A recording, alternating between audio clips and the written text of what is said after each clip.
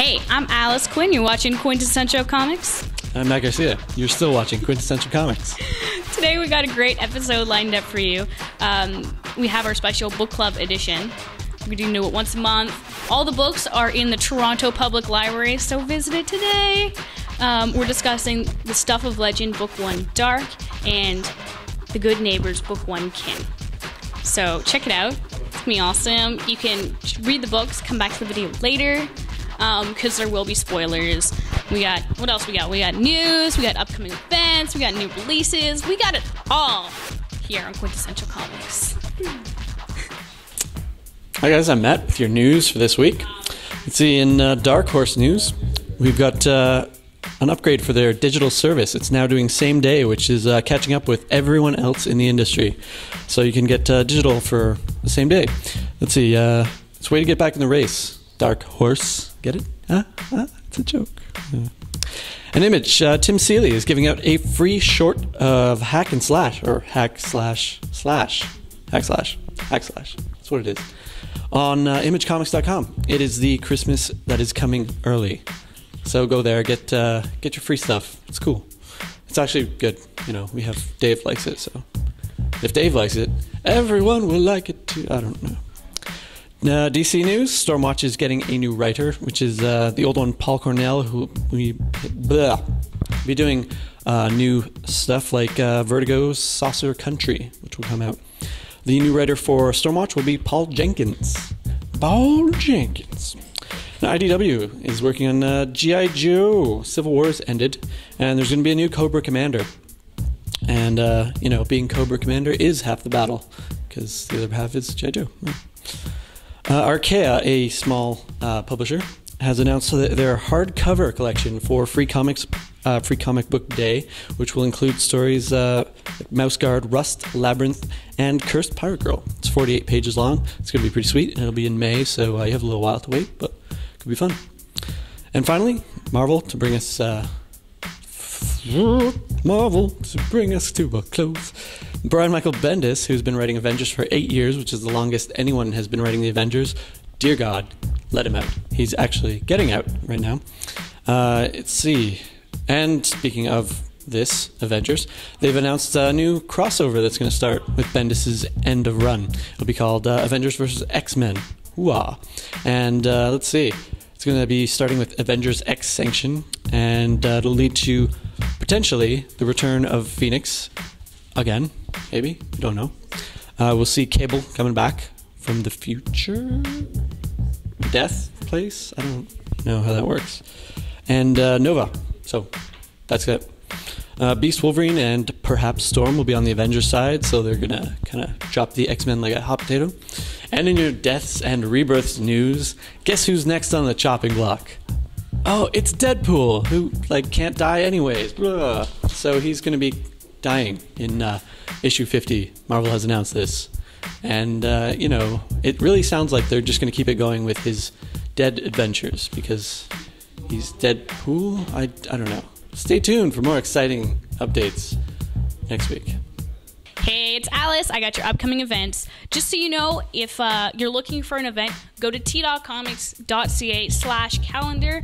Um, we update that throughout the week. So if I don't have events now on the show, I'll have them later. So check it out. Uh, Friday, the 9th, we got the tr- uh, Toronto Cartoonist Workshop Art Show. All of the, the, the instructors for that course are going to be selling all their cool artwork in time for the holidays. So check it out. It's from 7 to 11 at 587A College Street. With suggested donation of $4, it's going to charity. Check it out, guys. Art, comics, charity, booze. Did I mention their license? Um, Okay, um, Uncharted Zone. It's a play with time travel. It's playing on December 8th, 9th, 10th, 16th, 17th at 7.30 at the Palmerston Library. Um, it's $20 at the door or 15 in advance. So find that event, buy tickets in advance, check it out. Saturday, the 10th. Uh, the Doctor Who Society of Canada is putting together Christmas Invasion. They're putting they're playing all the Doctor Who Christmas specials back to back from 11:30 a.m. to 5:30 p.m. um, and they ask that you bring an unwrapped toy to donate for the entrance fee. Monday, the 12th, Geek Love is having a very geeky holiday um, from 7 to 10.30 at Ossington. It's gonna consist of Batman, Christmas with the Joker, Star Wars Holiday Special, and a Muppet Family Christmas. Sounds like an awesome time, man. I'm gonna be there.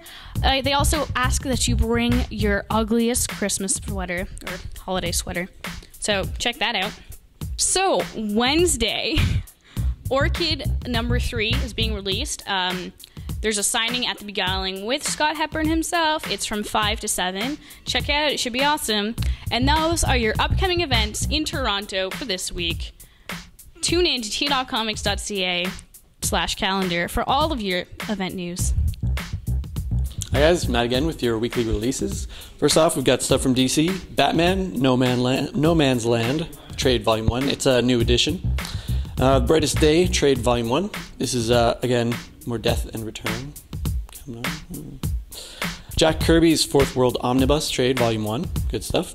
We've got uh, Sandman Trade Volume Seven, Brief Lives. It's a new edition, so you know they're just gonna release random one thing new editions because the old edition sucked so much. I don't know. We got Superboy Smallville Attacks trade coming out. Uh, Superman Secret Origin trade also. And Watchmen, the Absolute Edition hardcover $100 Holy Crap edition. If you don't have this yet, I don't know, you're dumb. Buy it and then show it off like you're cool. IDW, news from them. Angel, After the Fall. We got more uh, Volume 4. This is more uh, Boreanaz for all you people who are into his chest. Captain Canuck, complete edition trade is coming out. G.I. Joe, Cobra, Cobra Civil War, trade volume one. That's a lot of colons going on there. You can't actually see them on the cover, but uh, let's see. And Shaman's Tears trade. We may have cut that one, but Shaman's Tears. It's out. Awesome. The cover's cool. Maybe. Uh, Image Comic has Chew Omnivore Edition hardcover. That's pretty cool. I like that. Art is really nice on that one. And Girls, the complete collection trade, which is a scary story about girls and killing. They like turn people into eggs. It's weird. Marvel has Captain America Corps trade and Deadpool Volume 9 institutionalized hardcover. Get as much Deadpool as you can before he dies, and they inevitably bring him back for more Deadpool. We've got Shield Nick Fury versus Shield hardcover. Again, that's the uh, premiere edition. And Spider Man Through the Decades trade. This is a whole bunch of collection thing from uh, Through the Decades. Duh. It's look at the cover. Jeez. X Men Days of Future Past trade. That's a new printing. And finally, X-Statix Omnibus, because everyone loves X-Statix. That's it for your releases. Welcome to episode four of Quinntessential Comix, the book club edition. This is the book club for the month. Um, I'm gonna we're gonna introduce ourselves. Why don't you start us off, Dave? I'm Dave. I'm regularly the cameraman here, and uh, yeah, that's basically it. Awesome. I'm Matt from Quinntessential Comix. Here at Quinntessential Comix. Hey, I'm Alice Quinn, founder and manager of T Dot Comics, as well as host of Quinntessential Comix. Hello, fellow nerds. I'm Tish. I contributed one article to T Dot Comics, and I am a bookworm here. I'm Ryan, and I'm a new intern with T Dot Comics. It's the first time with the book club, the bookworms. Yeah, so this is our bookworms for the week, and we're going to discuss these two books The Stuff of Legend, Book One, The Dark, and The Good Neighbors, Book One, Kin. If you haven't read the books, be warned there's spoilers. We're discussing the books because we've all read them. Um, so just hit the pause button, like right now, and come back after you've read the books so that way we can all talk about it together. And then if you have something interesting to add, feel free to comment below in the YouTube video or in the like the comments on T.Comics. All right.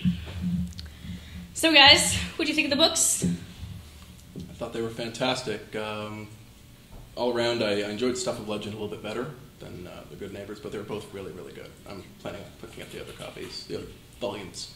Who enjoyed Stuff of Legend more?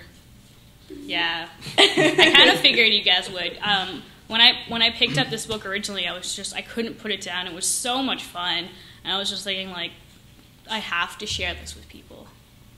I'm not sure about you guys. I kind of read it on par with like Winnie the Pooh, where it's the little boy's imagination. Like each one of these toys represent a different part of his own personality. Like the Colonel is his own courage. The the Max the bear is his his courage and his animal side. The Jester, his Joker, all that. Cool. Oh man, I would feel bad if that colonel was my courage. no, you think about it. He like he charged right in there. He's the one that led the charge, gathered the troops, went headfirst in there. He was fully prepared to go into that darkness alone if he had to, just to save the boy. The way I looked at it was like Toy Story if shit got real. um, I thought of it as like a combination of Toy Story and Fables. It was really similar to Fables in the like the character dynamics, and but it had that wacky Toy Story kind of fun to it. Yeah, I kind of got that Fables vibe as well. I also like. Did anybody also notice like the World War II sort of stuff going on? I mean, the whole comic is done in sepia tones, so it's like very obvious. It's supposed to be in a specific past sort of deal, and it's like, oh, they have to go to this strange foreign land against insurmountable odds, sort of deal. And get torn in half. Just like in World War II. I, I really like how at the beginning of the book they all just look like toys, and then as they venture into the dark and explore this world, they become what their character is supposed to be. Like the Jack in the Box becomes a jester. Um, the colonel's able able to open his bag and write in his journal. I think it's really cool how like they can only come to life in this world where they have to like where they're out to like save their boy, where they're facing like real life situations. They actually mention that, and he kind of breaks the fourth wall a little bit in his journal towards the end of the first volume, where he says he's writing the journal. He doesn't even know why, because frankly, when they get out of the closet, there's a good chance that he won't be able to access his backpack anymore. I actually I enjoyed the way they drew the toys at the beginning because it wasn't in that kind of goofy Toy Story. They they have like the ability to move around, like the teddy bear can move around, but they're all very much toys. Mm-hmm. Like the Colonel never really has a lot of detail to him. He's a little lead figurine. You never really know how he moves. I assume he just floats around because his Or feet like, are attached to a little base. They do the same thing with the Jack in the Box. Uh, like when they're arguing before they go in the dark, they're saying like, "Why didn't anyone help?" And Jack's like, "I would have, but I was stuck in the box." I think uh, it's also important to point out that I think what a lot of us probably thought was like super cool and badass in the comic was that the teddy bear became a big screw off actual bear who like tears en- tears enemies to shreds. And he still has like that world. ribbon around his Yeah. neck. You know what? I wasn't actually paying attention in the beginning, and I didn't know that he was the teddy bear for like the first couple pages, and I was like, oh, Jesus. I'm just glad they gave the dog a dog's name. Like the dog's name is Scout. If they had given the dog any other name, I would have confused the two constantly. The dog and the bear. Yeah. yeah. I also love how the, the bear kind of hates the dog initially because the dog is like taking a spot on the bed. And he like kind of looks down on the dog, and, and the dog always looked down on him in the real world because you know he was basically a chew toy, and now back in there he's a bear.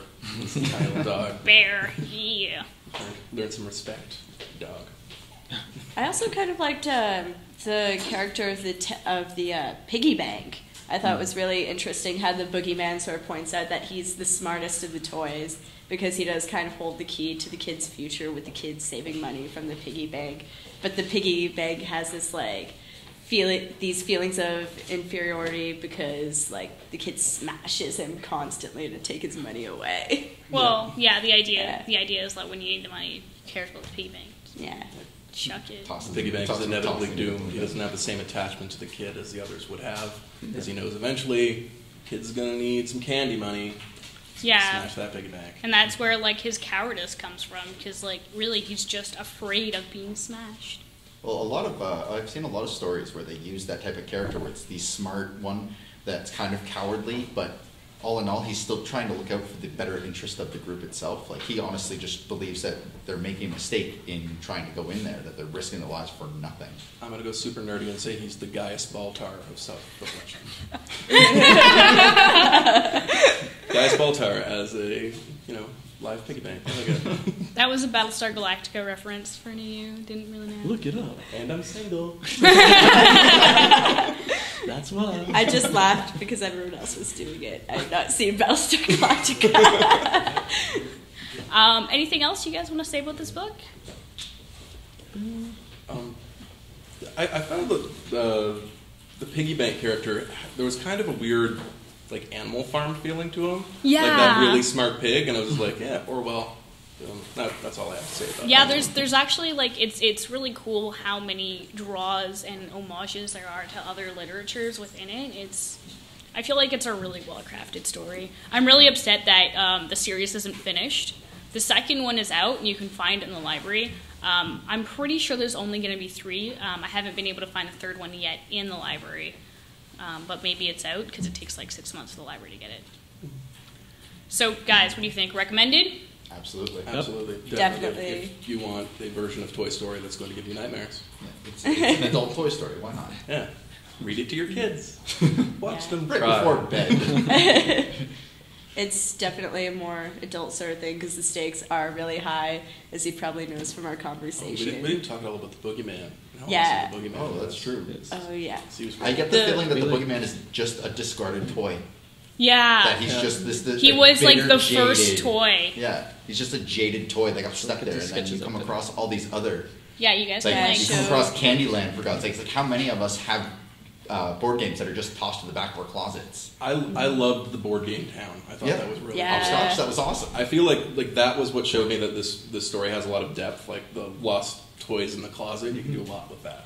Like I imagine at some point they're going to come across a bunch of like discarded dinosaur toys. Oh, that's- Boom. that's the thing is that they- prehistoric madness. It leaves it Chris. so open to, like uh, Fable, where they take like childhood fairy tales and put them in a real world. Well, everyone has the same generic toys: the army man, the stuffed bear, and there's just endless possibilities where they can go with what they find in the closet. Yeah, I, I keep waiting for there to be like a jungle and a whole bunch of monkeys and a, coming out of a barrel, just like Yes, would climbing over awesome. things. All right, so let's talk about the Good Neighbors. Uh, this one's different because it, instead of it being like just like like a regular fairy tale, it's more like a mystical fairy fairy tale. How did you guys feel about that? I thought it was really cool. I like I like um, the whole Celtic fairy lore kind of thing. There's a lot to work with there. Um, like for people watching, it's not like Tinkerbell style fairies. It's like scoop, spooky It's like those fairies fairies. that'll cut you, Yeah. like cut you. fairies that'll like sleep on your chest and eat your dreams or something. Yeah. Spooky fairies, supernatural fairies. Yeah, I totally got that. I don't know. I like the approach that they took because it wasn't it wasn't too weird. Like I thought it was a vampire thing at first. Like I don't know because you know they usually talk about Kine and whatever vampires, but it turned out to be fairies and like they wore swan cloaks and stuff, which was you know, back to that old school mythology. I think they incorporated that mythology really well into it. Mhm. Like explain and, and didn't it didn't seem really like pandery. It wasn't like they had that scene where like you sit down with that you know in, in vampire movies the guy who knows vampires is like stick through the heart and all those classic things. Mhm. It kind of they brought the ideas of, of there being fairies and fairies existing and these things being real very naturally into it. Yeah. Like you can tell from like page one that there's something going on, right? Because she like, what's the name of the character's name? Rue. Rue. Rue. Rue like knows it to be true. She's like, there's there's something up. There's something going on. Like there's this, this isn't right. So you can totally tell from the beginning. But I really agree. I agree with you. I love the way it eases us into the story.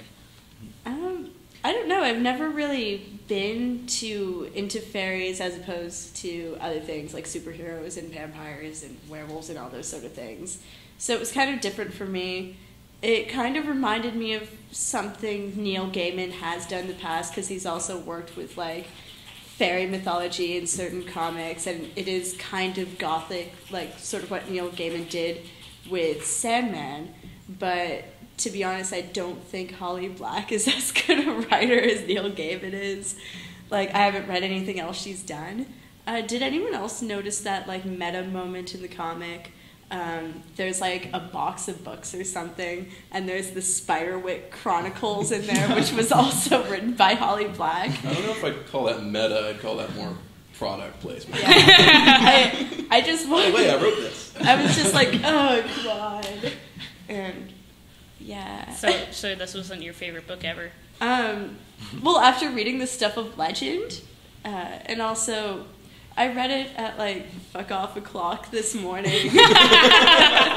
so I, I also had like trouble um, keeping up with it. I mean, there were some weird time jumps. So I wasn't sure if something was going on in a dream or if I just skipped a page or something. I wasn't quite sure what was going on sometimes. And like the character finds out certain revelations about the plot uh, through like somebody telling her something previously very explicitly, and then she hasn't taken note of it until later. And then it's it's basically like if a mystery was solved by someone saying, "Oh, I heard something really weird about this person," like four weeks after the fact. It's yeah, didn't make much sense to me. I was actually in the same boat as you. As I was reading it, I found myself like going back and checking the page number to make sure I hadn't skipped a page. Just because there are really odd time jumps. But for me, I'm not nearly well versed enough in fairy mythology to really have been able to jump into this because a lot of it went right over my head.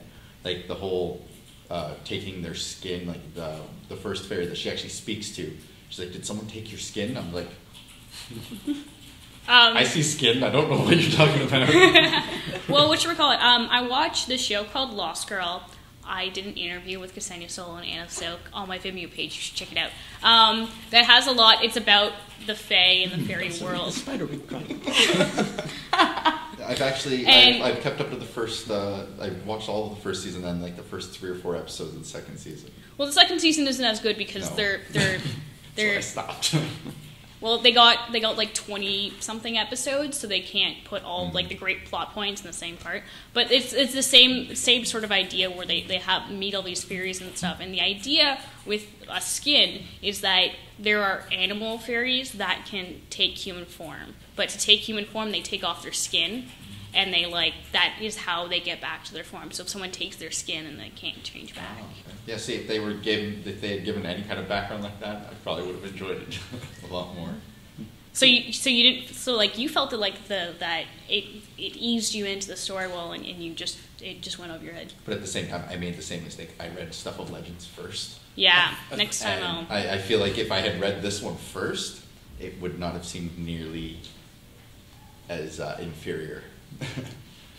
I actually did read uh, Good Neighbors first, and I, I I read Good Neighbors, and uh, Matt had the copy of Stuff of Legend, and I read Good Neighbors, and I actually really, really enjoyed it. I was like, this is this is really amazing.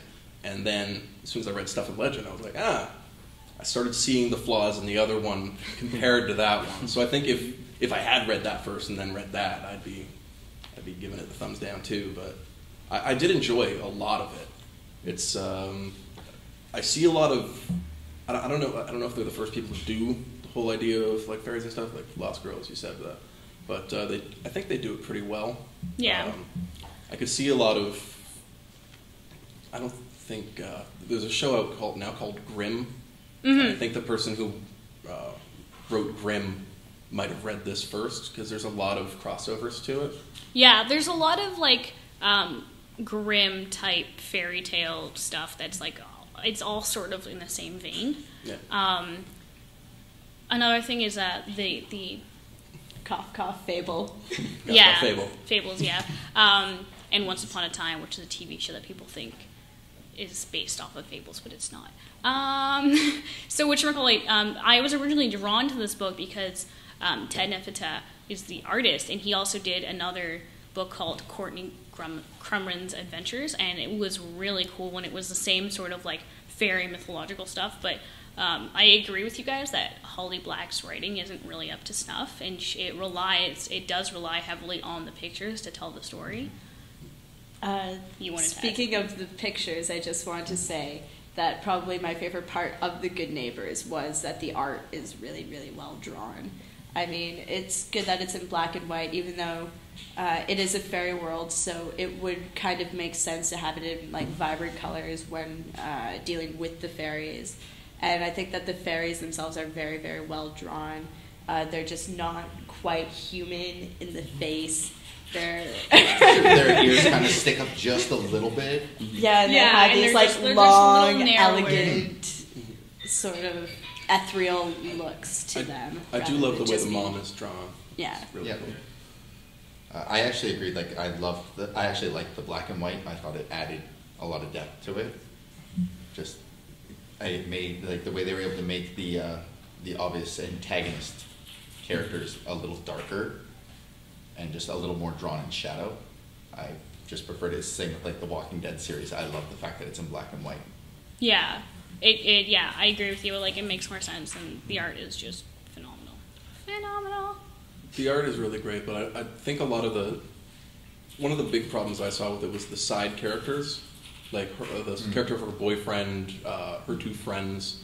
They're not really well realized as characters. They're not seem- defined. They're, you know? they're not defined at all. They're kind of just generic tag-alongs. I didn't get why the main uh, the the boyfriend was shying away from her until they just like spelled it out. Yeah. Because I, had no idea what this guy was like, so I didn't really get what was going on with that. Like, Yeah. he's just spooked off by this or something. Yeah, no. Um, it there's there's three volumes of it. I've read them all, so like it makes more sense in in the next volumes. But yeah, I don't know. I feel I, I agree with you guys. Like I really I enjoyed it. I liked it. Um, I feel like Holly Black's storytelling could have been better, and it would have made the story make more sense. I have uh, the two, the sec- second and third volumes at home that I'm probably going to read the second one and see if it gets just a little bit better because it was good enough to keep me intrigued and keep me interested and want to find out exactly how, like, what envelops Faru, like who this like fairy grandfather with is and what his backstory is and what his influence is going to be on her, and also what ultimately happened to her mother because they kind of hint at like her mother that's not really her mother that it's a, a replacement They don't hint at They it. don't They hint at fully it. spell it They- out. yeah. They- No. At, that her the mother end, didn't actually like die. Yeah, at the end, she like digs up the grave, and it's like a wooden copy. oh okay i thought i figured that there's i didn't realize that they were uh, doing that like i thought it was just like the original mother was still in captivity or wherever she is Yeah. and then the fake mother just just died and i didn't realize that she was just a wicker but i guess you're right they do mention that the babies are replaced by carvings Yeah. so Um, that makes far more sense now Yeah. I can't See remember. again, Holly Black Yeah, storytelling. not, not a testament to her storytelling ability. But I, I love I love that reveal at the end. I actually I thought that was one of the best parts of the of the book. It was like a cool little end bit, mm. like a, a throwback to the mythology they explained earlier on. Mm. And it's definitely a, a, a good spot to end the volume because it actually made me want to read more of it. Like absolutely, I want to know what happened to the mom. Like what's, what's the deal? It was a good hook. Yeah. Brief side note: Was anyone else confused as to why the like gorgeous ethereal fairy mom hooked up with Rue's like super awkward, uh, like young Einstein-looking dad? Well, Perception of beauty. There's- In the land of beautiful young fairies, the old crusty dude must seem fairly appealing because there's none of that in there. oh no well, if you know charming. anything, yeah. Well, if you know anything about fairies, you understand that fairies never do anything for free. So that He was rich. Yes. they they made a trade is what happened, Oh, or there was a yeah. Anyway, of course, I'm a Spoilers. philistine. um, there's also um, a, a character, a side character. He's like Aubrey. Aubrey's the grandfather, his servant, Yeah. who sort of he seems like he's trying to help Rue, but at the same time he's like bound to Aubrey. So like you never know what's going on with him. What kind of vibe did you guys get from him? I was definitely intrigued. I'm definitely, I, I'm getting the future love interest vibe off of him, um, because there's even like one time where he like sneaks up behind her and like kidnaps her. Where she there's this like little, uh, not dialogue but comment box thing where she's like, "Oh, I thought he was going to kiss me," sort of thing, and he does seem like he's trying to help her, but in the fairy world, people are bound to things in really weird ways. So. Um, that's. I would probably keep reading to find out a what happens to the mom and b uh, what happens to him because I am kind of interested in his character. I, I really liked his curse. Like I thought that was a cool little throw in there. That like he, he's cursed with the fact that he will just spout like prophetic things and not be aware he's saying it. It just comes out automatically. I think that's cool, and I'd be curious to see what happens to his character. I, I agree with him being a really uh, cool character in the book. I didn't get the love interest thing. I actually got like a they're related kind of vibe. Like he's like some kind of distant relation of hers that like Long lost enslaved- brother. like long lost brother that's been enslaved by the grandpa, grew up in like uh, the fairy world, so So stuck stuck like- with him because of family issues. Star Wars thing going on here. Yeah, maybe Leia reveal there. maybe a Leia thing later on. the vibe I got from him was kind of like to the grandfather. He's basically just like an absolutely sexless slave. He's he's basically eunuch, where I don't see any potential love interest. I do know where you're coming from, where she does say like she thought he was going to kiss her, and he even says he was there for himself, not for Aubrey. Yeah. But I don't know. I just don't see him really displaying romantic emotions. Yeah. Well, he's got that whole sort of bound thing and mm-hmm. cursed, so. But Alright. everything ever has to have a love interest, don't you know? Well, it could be the boyfriend. No. But the boyfriend's a dick. I was going to say he kind of turned into a douchebag. I don't really see that happening. Yeah. So. It's gonna be the sad swamp. I brought you your skin back. and there was love. I could see the I, I could see in the future the uh, the, the bound servant kind of he's like working to get his freedom or something. He's got his own like uh, his own agenda involved in, in helping. Maybe it's like to suit his own purposes. Maybe he's trying to usurp. Maybe he's usurper. Maybe he's gonna maybe he's gonna be the big bad guy someday. I don't know. Uh, or he'll join the Scooby Gang that they're making. nice. Um, anything else, guys? Anything else? Holly Black sucks. Well, clearly you know Poor your Holly opinions. So, You even guys, read the Spiderwick Chronicles? Because I haven't. so guys, would you now. would you would you recommend this book to your friends? Depends on the friend. I'd, I'd recommend it to some people, but I know frenemies. would probably My frenemies. That's what Matt said. Uh, yeah, I guess it depends on the friend. I'm being really harsh on it right now, but I'm sure it's not. It okay. I'm. If you've it's read that Tish's bad. review on Batman, you understand she's harsh all the time. You gave Batman a bad review? Which Batman? Batman No. Year One, the the movie. Oh, well. No, no. I, I said that it was okay. It was solid entertainment, but um, it was no revelation, and we're going completely off topic. Yeah. That's cool. That's cool. You guys should check out that article Batman's on T dot comics, Batman Year One. Thanks for the plug. That's, that's what this whole show's about. It's plugging my own stuff. I'm not- I'm- I'm and bringing the community amazing content. We hope you enjoy. So, thank you for joining us on this special book club edition of Quinntessential Comix. Please let us know what you'd like us all to read next month. Um, and let us know if you want to be on the show because the idea is that every month we get different bookworms on, get different fans on to talk about books of the month. Um, so, yeah, send us your recommendations uh, in the comments or send me an email at t.comics at gmail.com. The lovely editors will put it on the screen down here. Awesome. Um, yeah, I hope you guys have enjoyed this show, and we'll see you guys next week. And the books of the month, the new books of the month, will be posted next week on t.comics. Peace out. So thanks for joining us today on Quinntessential Comix. We hope you've enjoyed this book club edition. Let us know what you think in the comments, because we love to hear your feedback. No, seriously, I want to know what you think. And um, we want to thank everybody at the book club and Sean Ward and Hedda Cooper for for drawing this amazing, cool, awesome background for us. Pretty cool, yeah. So join us next week, same time, same place. We got more creator interviews coming up then. So thanks for joining and have a great day.